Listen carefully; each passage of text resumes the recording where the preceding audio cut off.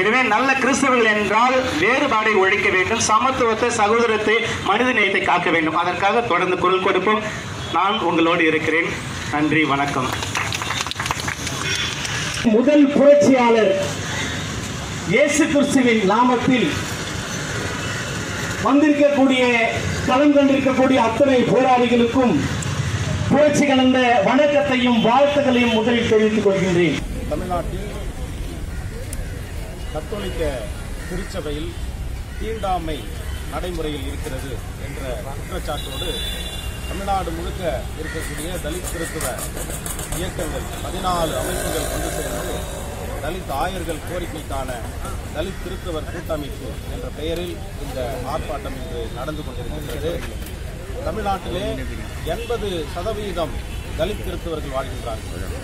மீதி உள்ள கிறிஸ்தவர்கள் இருபத்தி ஐந்து வகையான சாதியை சார்ந்தவர்கள் ஆனால் பல நூறு ஆண்டுகளாக தமிழக திருச்சபையில் தலித் சமூகத்திலிருந்து ஆயர்களும் பேராயர்களும் நியமிக்கப்படவில்லை என்ற ஒரு குற்றச்சாட்டை நாங்கள் இங்கே எடுத்து சொல்ல கடமைப்பட்டிருக்கின்றோம்.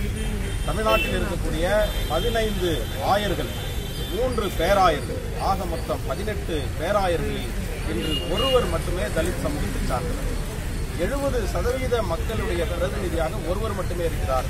முப்பது சதவீத மக்களின் பிரதிநிதியாக மீதி பதினேழு பேர் இருக்கிறார்கள் ஆகவே இந்த இயக்கங்கள் அனைத்தும் ஒன்று சேர்ந்து இப்பொழுது காலியாக உள்ள ஒரு உயர் மறை மாவட்டம் ஐந்து மறை மாவட்டம் குறிப்பாக புதுவை கடலூர் வேலூர் சேலம் குழித்துறை சிவகங்கை திருச்சி ஆகிய ஆறு மறை மாவட்டங்களுக்கும் தலித்திருத்துவ ஆயர்களை பேராயர்களை நியமனம் செய்ய வேண்டும்.